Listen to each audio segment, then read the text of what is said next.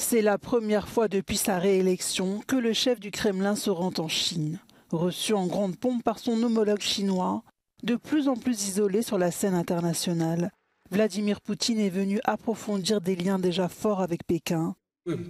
Профильной сферой взаимодействия является энергетика. Россия – надежный поставщик энергоносителей для растущей китайской экономики.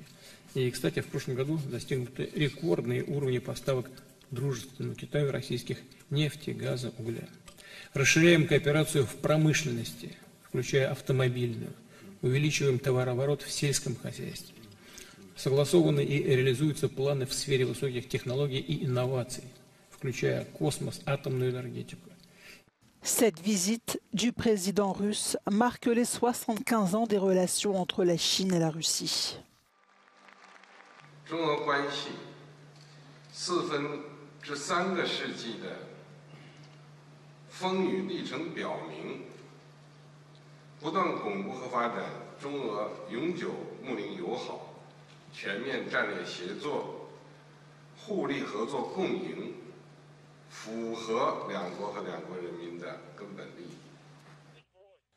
Pendant ce temps, l'armée russe poursuit son offensive sur la région ukrainienne de Kharkiv.